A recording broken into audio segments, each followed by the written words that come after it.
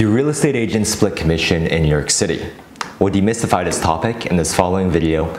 I'm Chris at Hauseit. In case you're not familiar with the platform, Hauseit is the largest for sale by owner and buyer commission rebate company in New York City, established in 2014. If you have any questions about buying and selling real estate in New York City and want to learn how you can save money on closing costs and broker commission, please check us out www.hauseit.com. The spelling is in the description below.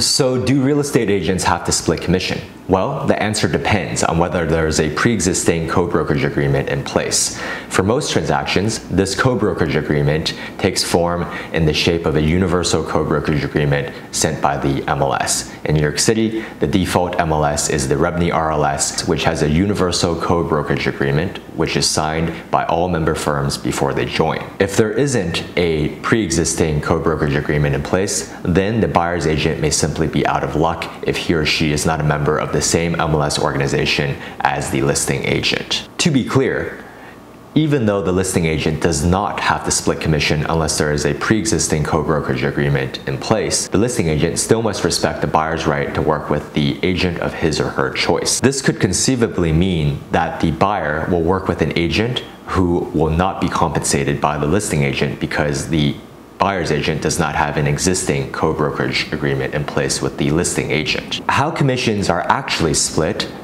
vary depending on the MLS and the specific nature of the agreement. For example, in New York City, the Real Estate Board in New York requires per its co-brokerage agreement that commissions are split at least equally in favor of the buyer's agent. In the Hudson Valley, the HGMLS, otherwise known as the Hudson Gateway Multiple Listing Service, only requires that the amount of the co-brokerage or the commission offered to the buyer's agent is positive. This means that a single dollar could be sufficient to offer as a buyer agent commission in the HGMLS. Similarly, in the Brooklyn MLS, commissions do not need to be split equally or at least equally in favor of the buyer's agent. We've heard from many agents that are members of the Brooklyn MLS that buyer agents are typically offered only 1% commission this does not mean that the listing agent will also make only 1%. As discussed, co-broking does not necessarily need to be equal depending on the specific MLS rules. We hope you found this video to be helpful,